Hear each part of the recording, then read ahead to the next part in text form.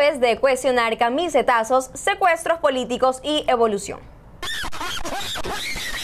Yo soy Dana Bustamante. Y yo, Valeria Gómez. Bienvenidos a UNews, el noticiero digital de Cato Media. Veamos los titulares. Santa rapidez legislativa, Batman. La Asamblea procesa en modo turbo una reforma que castigue los camisetazos. ¿Estás de acuerdo? Ponlo en los comentarios. Aleaga cada vez más decadente. La ex esposa del ex asambleísta Ronnie Aleaga fue a denunciarlo de secuestro en la Embajada de Ecuador en Venezuela la cosa cada vez más turbia. Los orangutanes evolucionan y no hablo de tu amigo el que pelea en TikTok, sino de uno real. Investigadores vieron cómo un orangután sufrió una herida y se curó a sí mismo con una planta medicinal. Máxima ciencia. Comenzamos hablando del sitio favorito de todo ecuatoriano en edad de votación, la Asamblea Nacional de la República el legislativo anda fuerte trabajando, sobre todo en sancionar el transfugismo político. ¿Y qué será el transfugismo? Pues se lo conoce normalmente como camisetazos. Que los asambleístas sean causal de destitución de sus cargos por transfugismo político, o conocido como camisetazo en el ejercicio de sus funciones en el Parlamento, es uno de los cambios que por ahora están en las reformas a la ley orgánica de la función legislativa. La Comisión de Justicia aprobó el documento para su primer debate en el Parlamento. Así es, el Partido Social Cristiano y el correísmo están apurados pidiendo una reforma que sancione a los asambleístas que se cambien de bando en pleno periodo.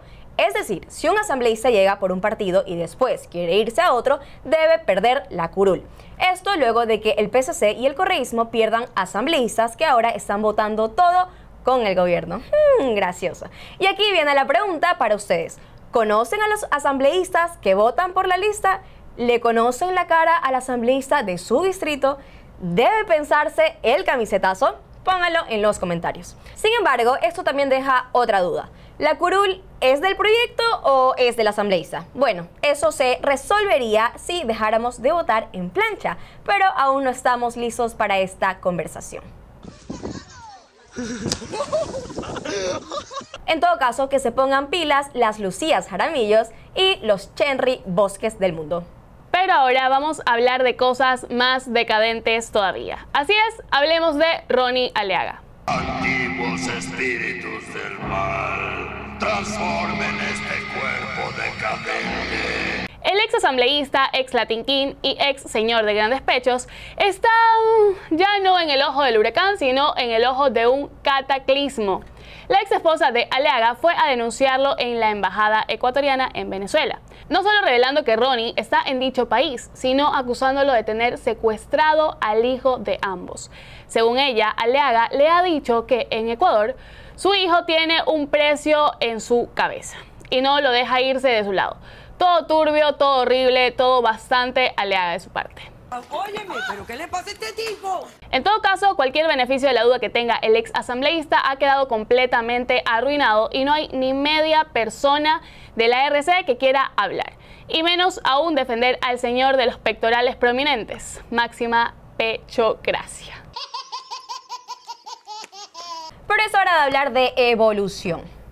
¿Cambio? ¿Sí? Un gran cambio. No es broma. Vamos a dejar las noticias de la política local que implican la información del celular de Fernando Villavicencio, que ya fue entregado a Fiscalía por parte del FBI. Y también vamos a dejar el tema de los apagones para otro momento, porque hoy se ha descubierto algo más impactante. Un orangután se curó la herida con plantas medicinales. Un orangután pareció tratar una herida con medicina de una planta tropical en el ejemplo más reciente de cómo algunos animales tratan de sanar sus propios padecimientos con remedios hallados en la naturaleza, reportaron científicos el jueves. Los investigadores del Instituto de Conducta Animal Max Planck de Alemania están sorprendidos porque por primera vez pueden ver cómo un orangután hace esto en vivo y en directo. Oye, oye, despacio, cerebrito. Lo que esto significa es que los orangutanes al parecer están evolucionando, lo que a su vez quiere decir que están a unos 70.000 años de tener un trabajo de 8 horas y votar por gobiernos que se dediquen a armar guerras genocidas en países con menor desarrollo. Guerra.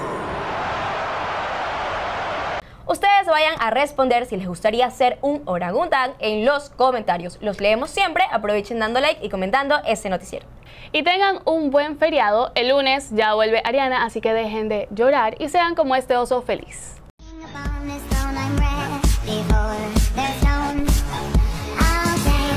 Un gran abrazo, buen feriado y nos vemos el lunes. Tu, tu, tu.